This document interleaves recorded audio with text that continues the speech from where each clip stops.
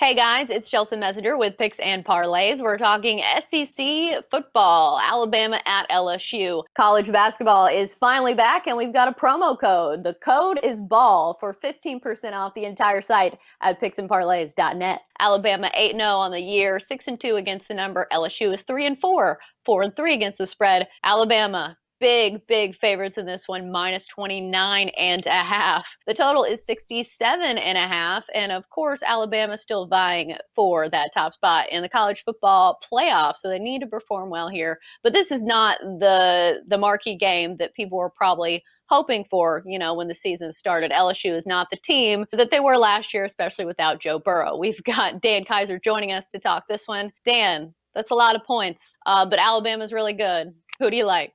Yeah, yeah, they are. I mean, yeah, you know, Alabama just keeps roll, rolling along. No pun intended. I mean, they're coming off a 42-13 uh, win over Auburn in the Iron Bowl. They look they look really good in that game.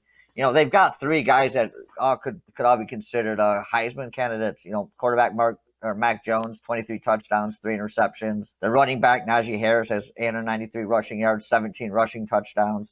I mean, I don't even think Michigan State has 17 touchdowns this whole season. DeVonta Smith. Probably not. I mean, yeah, but DeVonta Smith, a thousand yards receiving, 12 touchdowns. You know, the only thing you could say about Bama at the beginning of the year was their defense. You know, their defense was uh, missing assignments, poor communication, but uh, you know, they probably got the hardest defense there is to learn in, in, college football. It's like an NFL type defense, the way they change plays, play calls in the middle, you know, as they're lined up the, uh, for the snap. So it's, it's they've gotten back into form. They're looking like a, a an Alabama defense in the last couple of weeks. And then you got LSU. I mean, how the mighty have fallen. You know, national champs last year, and they just look terrible. Coming off a loss to Texas A&M, where basically they covered at the end. They looked better earlier in the year before uh, Brennan got injured. You know, their quarterbacks four touchdowns, four touchdowns, and only with five interceptions.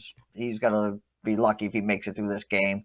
Their only bright spots, Ter- uh, Terrace Marshall, their wide receiver. He's got 10 touchdowns this year, so he may get a score here or there. I'm in this game. I like Bama. They're coming off that. It could be a little bit of a letdown coming off the Iron Bowl. They're looking to Florida coming up soon. I don't think they want to show everything they have, so I'm going to take the points.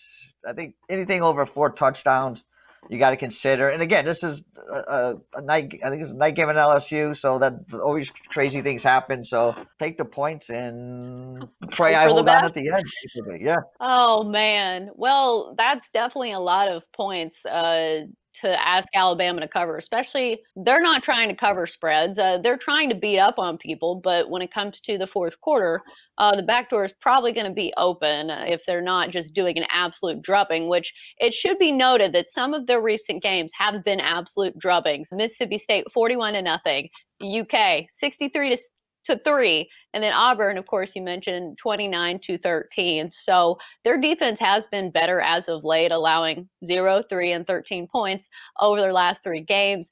I don't know what we're going to see from LSU because their offense has not been uh, an offense that it was in the past, but it's still averaging 30 points a game. So maybe we'll see some life from LSU uh, in the big spot against L- uh, Alabama. At least maybe they can score some because that's basically what you're asking uh, when you're asking a team to cover a spread that big. Yeah, I just, you know, I, I would just think that maybe at, at some point, because, you know, the last couple of years, you know, when they had Tua, he always got seemed to get hurt at, at some point in the season. You would think that maybe looking ahead, that if they do get a big lead, they may start resting, you know, DeVonta Smith and Najee Harris and, and Jones maybe in the fourth quarter. That gives you a chance me. That gives you a chance at that backdoor cover. Uh, any leanings on the total? 67 and a half is pretty pretty high, but yeah, I'd, I'd, if I was going to take anything, I'd probably I'd lean I'd lean to the over you know Alabama. If, if, things go totally wrong, if you got LSU and if things go totally wrong, Bama could put up sixty in this one. But I know your best play is on LSU, and that's where we're going to wrap it up uh, for SEC football talk here on Picks and Parlays.